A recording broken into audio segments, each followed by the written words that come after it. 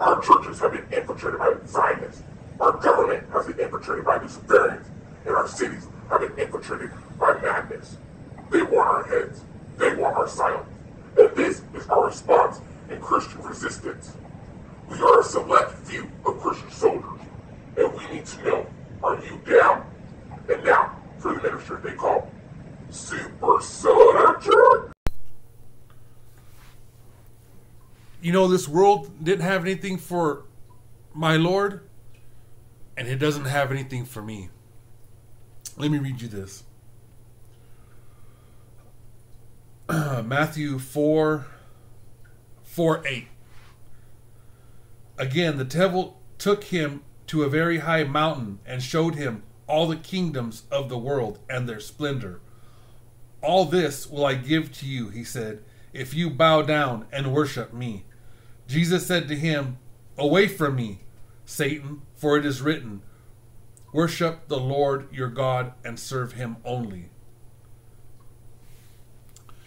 You know, he took Jesus to a high mountain, and I don't know if you ever been to the foothills and you look down on the city at nighttime and you see all the lights.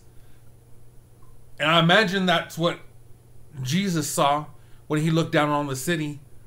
Everything that the world had to offer, all the bling bling. Okay? The dancing women, the gambling, all the nice, shiny things that the world has to offer that's supposed to bring you some kind of joy in your life. And you know what? With everything that this world had to offer, it didn't have nothing for Jesus. He overcame the world. And as a servant, it has nothing for me. What could this world possibly offer me when, as a servant, I hold the keys to the kingdom? What shiny thing, what dancing women, um, anything that the uh, uh, uh, what do you, what does this world have to offer me? A line up my nose, a needle in my vein. I'm not gonna sell. I'm not gonna sell Jesus out for that. Are you kidding me?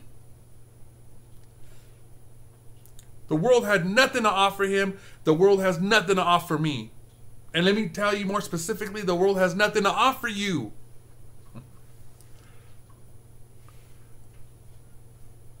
As a servant, we have com- total access.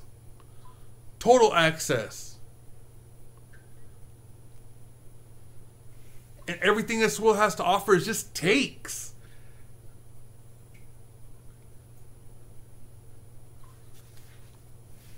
I'm not going to bow down and worship the things of this world. It's all a monkey trap. And so this is how I heard it explained to me. A monkey trap was a monkey trap is a coconut that they would cut a cut a hole in this coconut, a small hole, and then anchor this coconut to a tree. And then they'd put something shiny like a bauble, like a like a toy watch or a, a fake watch or a, a fake ring or something, you know.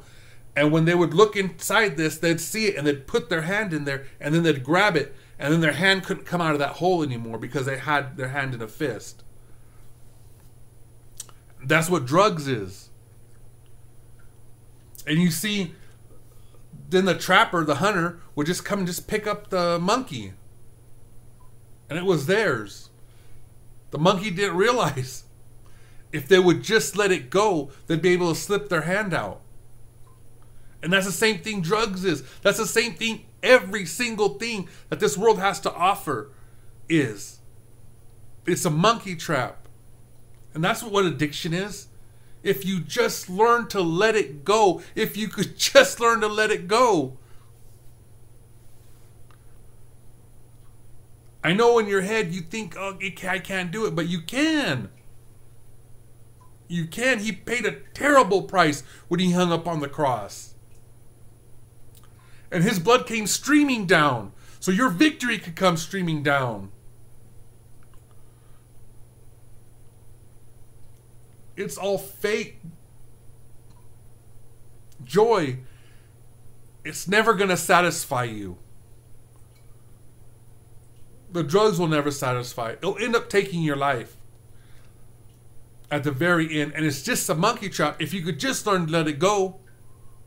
Are you really happy? Have lost everything for drugs? You know, in the living out in the street, um, in the summertime you're hot, in the in the wintertime you're cold, have have, have lost everything. God has so much better for than that for you. It's just a monkey trap. Just let it go. I'm not going to sell out for a, a, joint.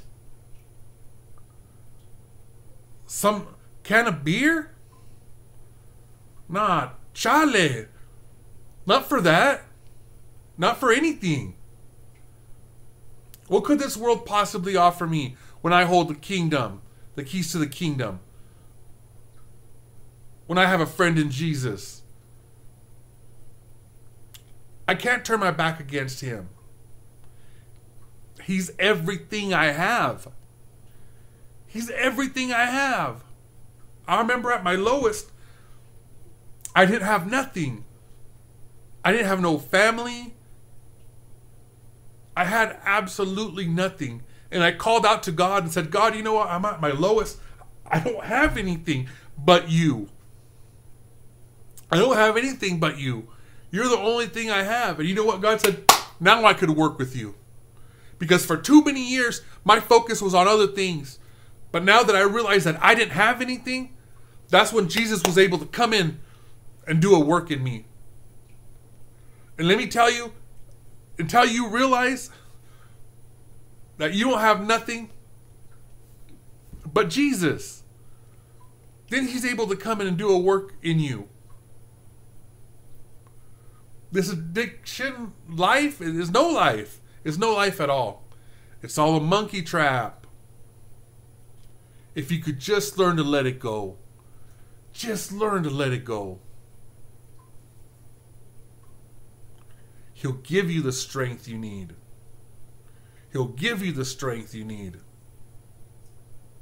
And I'll be there for you every step of the way. Hang in there.